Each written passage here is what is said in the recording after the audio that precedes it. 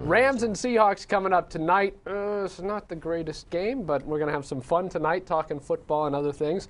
Eric, what do you expect from this game? I mean, the, Well, Robert, let's not sugarcoat it. This is awful.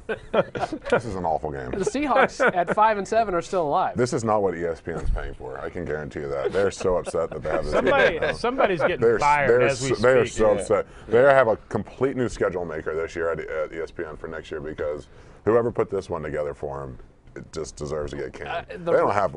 They haven't had a good game in like seven weeks or something like that.